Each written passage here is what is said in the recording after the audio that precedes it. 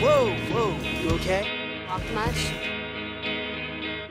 You hitting on me, Casey? No. If anybody finds us in here, just grab a hold of me and pretend we're making out. You notice anything off today here at school? Is this gonna be on the test? This is the test. What do you think it is? Locker search, maybe? Kindly take your seats. This will be over quite quickly. If you were going to take over the world, would you blow up the White House Independence Day style or sneak in through the back door? I think something's taking over our school.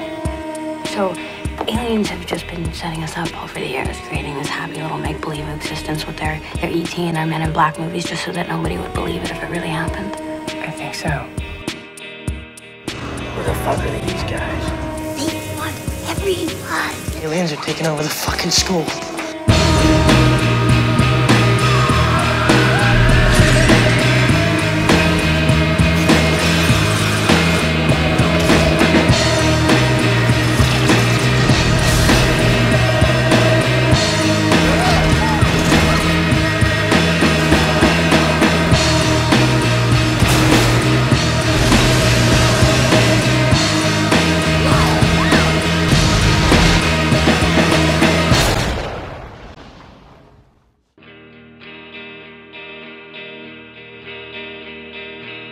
Please report to the principal's office.